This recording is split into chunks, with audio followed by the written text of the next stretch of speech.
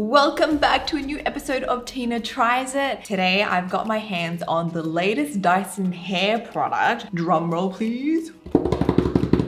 This is the new Flyaway Smoother attachment for the Supersonic. So this is a two-in-one attachment that's meant to go on their hair dryer. The Supersonic, it's been around for a while, super famous and popular. It's a compact and powerful hair dryer that dries hair really fast and it's less damaging thanks to its intelligent heat control technology. Plus it has ultra strong airflow. Now, you guys know I'm a big fan of Dyson and whenever they launch new things, I love testing it out. They actually invited me a couple of weeks ago to a secret briefing on this product and I got to speak to some of the engineers. So basically, the idea of this flyaway smoother came from trying to solve the problem. You know when you go to the hairdressers and they do a very nice blowout and it's so hard to achieve that same professional look at home? That's unless you're actually skilled and can use a round brush to smooth the hair out. But a lot of people can't do that. I find it a little bit difficult doing the back especially. So apparently this is supposed to fix all that. Plus if you guys have seen the flyaway attachment,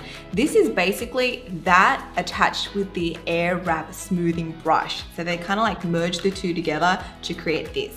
So as you can see, these are the bristles to the brush. So this attachment helps to detangle and also smooth out the hair. So if you want that sleek, straight style, this helps you achieve that.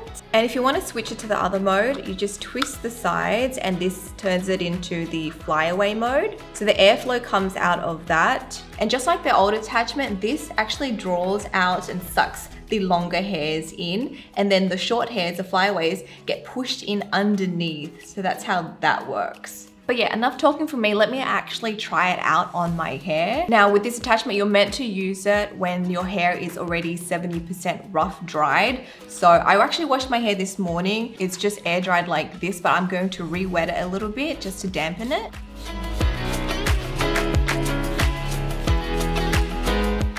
Maybe too damp. So just like the other attachments, this is magnetic and it just pops right in, it clicks, and you can also rotate it. So as you're working on different areas of your head, you can just move the brush and you don't have to angle your arm in weird, awkward directions. I'm going to put it on level one heat and the strongest airflow or the strongest speed setting. Let me turn it back so I can use the brush first to smooth and straighten my hair.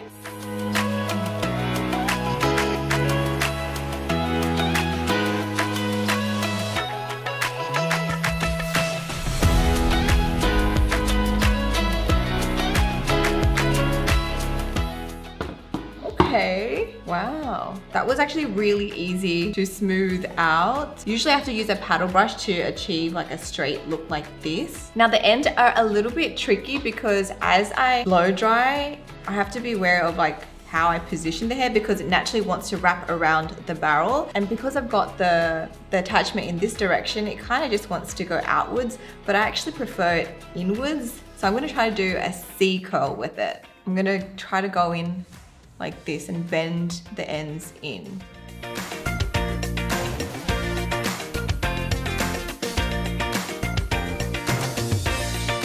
Does that work? Yes, there you go, that fixed the hair flicking out. I'm just gonna do that with the rest of this half and then we'll compare.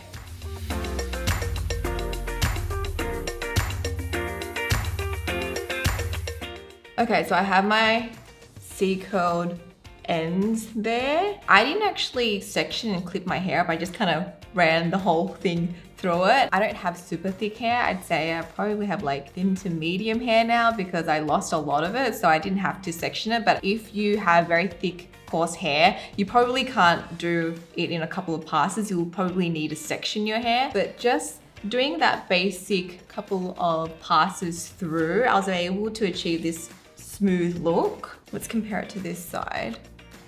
Okay, yeah, well now this is night and day. Obviously this is just not styled. I've got like that natural wave and I've got a lot of layers in here. So it can be quite frizzy and messy if I don't tame them or style it and curl it. So if it's just this, this is what it naturally looks like. But on this side, you can see how much smoother and straighter it looks after using the new attachment. I probably didn't do a good job at the back to be honest, but it's still a little bit damp here, that's why. But so far, first impressions, it's actually easy to use. It's much easier than using a round brush in one hand and then trying to get the hairdryer and the nozzle in the right direction. This kind of just simplifies everything and you can just do it with ease. It's pretty much like brushing your hair. Or if you guys have the Airwrap, it's very similar to that. Let me just quickly do the other side. So I guess with this side, I'd have to use my other hand for it.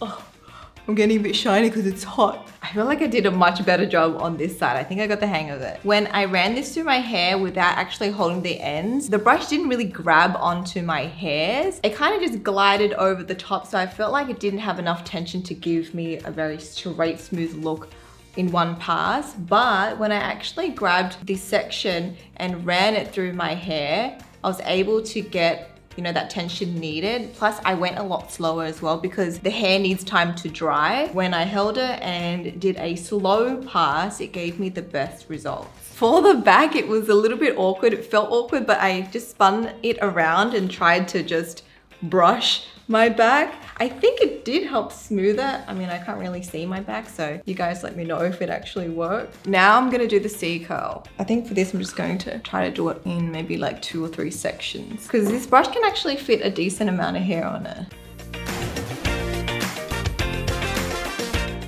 Ooh, that was a good one. So what I did just then that was different to this side is when I was working towards the end, I actually pressed the cool shot to cool it down and I felt like that kept the curl a lot better.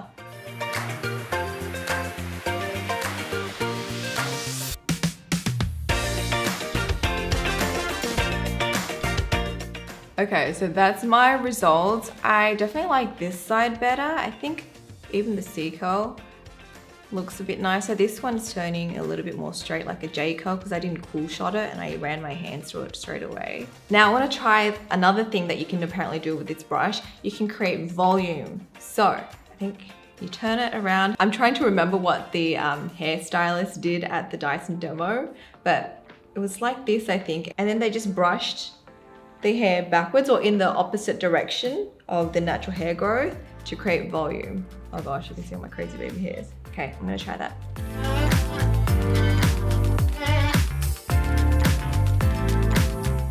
Can you see all my crazy baby hairs? That's how much hair that's growing back now after I had a baby. Okay, flipping it back around. Oh yes, can you see the difference? let me just part my hair into two.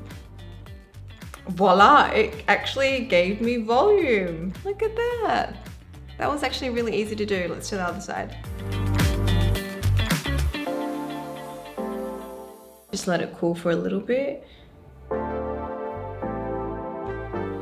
Oh, nice. It's given me that root lift. Wow, va va boom. That was actually so easy. Check that out, guys. Who needs to go to the hairdressers now? It actually looks really good. No round brush, no nothing, just just the attachment. Now, I've only been using that smoothing mode. I wanna try the flyaway mode as well. So let's twist it. Honestly, the smoothing mode has done a pretty good job just taming the flyaways, but I have some up here and just like little baby hairs. So I'm just gonna try it out.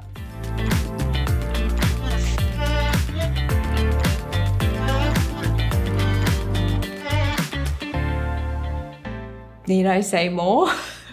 now, to be fair, I didn't have a lot of frizz after using the smoothing mode, but I feel like if you had a lot of like little broken hairs or baby hairs sticking out, you saw how this actually grabs the longer hairs and then it really pushes that in. So it helps lay it out or lay them down, sorry.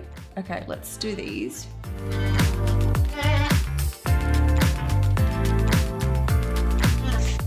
I'm gonna try to use it around here because this is the most annoying part for me.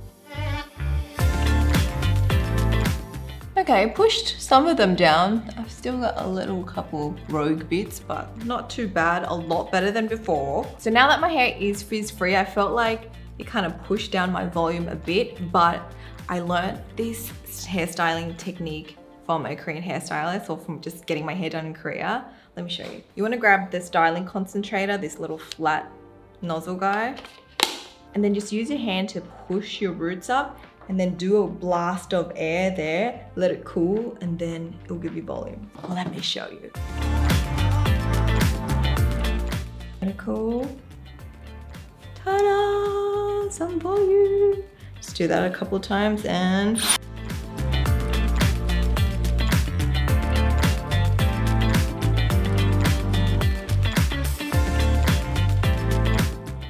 very smooth, very smooth.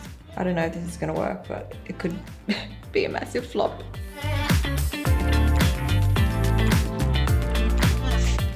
Hmm. It kind of shaped my, my bangs a little bit. I'm trying to give it that like little like wave at the end. Maybe I can do it this way.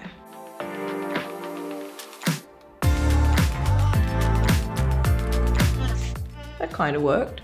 Not bad, not bad at all. So my first impressions, I'm a big fan of this. I feel like once you get used to how to sort of run it past your hair and give it a couple of tries, it's a little bit weird at first because it kind of it looks like a little mini vacuum, like you're vacuuming your head. But once you do a couple passes and you get used to it, I think the results are really worth it. Because if I tried to get this with a round brush, it would take me a long, long time and it's just very fiddly. I'd struggle a little bit more. So the smoothing mode is great. Flyaway mode is awesome as well. If you've seen that attachment and or if you have the Airwrap, the flyaway attachment just helps to smooth and makes your hair shinier. It just gives your hair that professional finish, if you know what I mean. And if you have very frizzy, curly hair, you know after you style or straighten it sometimes, the day after it can frizz up, this attachment would be great for that. However, on top of all that, I have some little bit disappointed at the moment because this attachment is only available in the Supersonic set. So right now you can't buy it as an individual attachment just yet. I feel like they will definitely release it because you can buy the flyaway attachment on its own, the old one. So I feel like this one will come, but at the moment you can only get it in the set. So it's a little bit of a bummer if you already have this Supersonic because you don't want to go buy a whole new set. But I have high hopes that they will release this as a single attachment you can buy. Here's a quick before and after so you guys can see the results.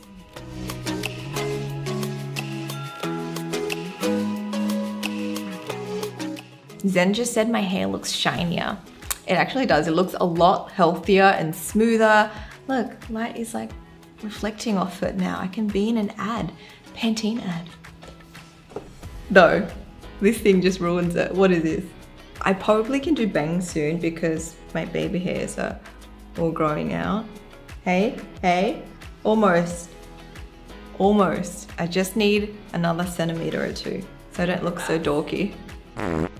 Now, if you're someone who blow dries your hair on a daily basis, I think a product like this will be very handy, especially if you tend to just opt for a smooth, straighter look and you don't want to go in with an extra flat iron on top. Also, if you have damaged hair and you're worried about using too much heat tools, the Dyson is great because it doesn't go above 150 degrees Celsius, which is when hair starts to get damaged. But in saying that, we all know Dyson products can be pretty expensive because it is a premium range and they have a lot of technology and research behind their products. So it's not gonna suit everyone's budget. So can you achieve this same style using cheaper hair tools? Yes, definitely. So if you're happy with your existing hair tools, maybe there's no need to splurge on this new attachment, especially because it's only available in the set at the moment. But if budget isn't an issue and you wanna speed up your hairstyling process and make things easier and get that professional salon look without the struggle of using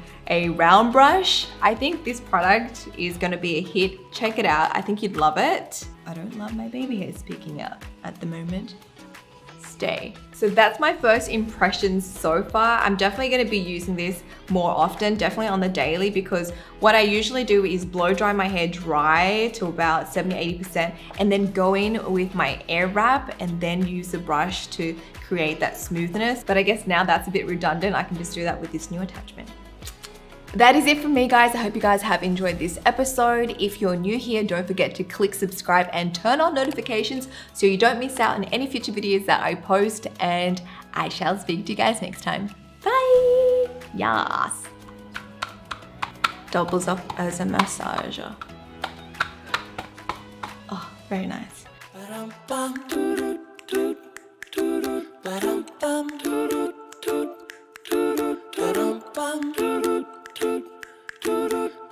bum, bum.